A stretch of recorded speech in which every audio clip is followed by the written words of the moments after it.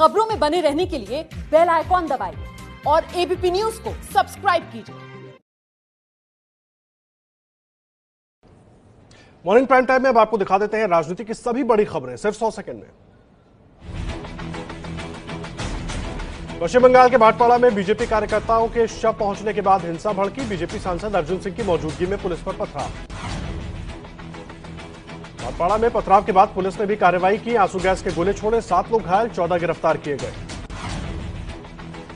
कोलकाता में बीजेपी ने 20 जून को बीजेपी और टीएमसी कार्यकर्ताओं के बीच झड़प हो गई थी, जिसमें बम से हमले में दो बीजेपी कार्यकर्ताओं की मौत हो गई थी। पश्चिम बंगाल के राज्यपाल केसरीनाथ त्रिपाठी ने भाटपाड़ा हिंसा पर चिंता जताई, कहा, राज्य में शांति स्थापित करना ज़रूरी।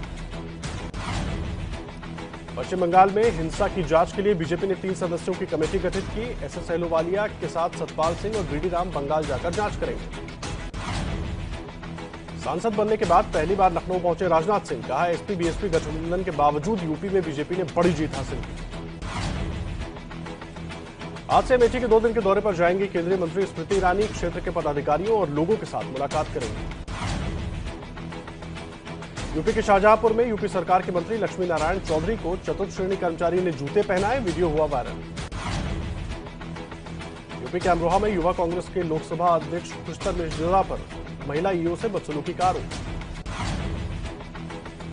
दिल्ली से सटे गाजियाबाद में हिरासत में लिए गए भीम आर्मी प्रमुख चंद्रशेखर आज़ाद, सांप्रदायिक तनाव भड़काने भड़काने के डर से हिरासत में लेने का दावा। दिल्ली के सीएम अरविंद केजरीवाल ने वायुसेना के विमान एन बत्तीस क्रैश में शहीद हुए जवान राजेश कुमार के परिजनों को एक करोड़ की मदद देने का ऐलान किया। भोपाल में पूर्व सीएम शिवराज सिंह चौहान ने जनता दरबार लगाया, लोगों की समस्याएँ सुनी।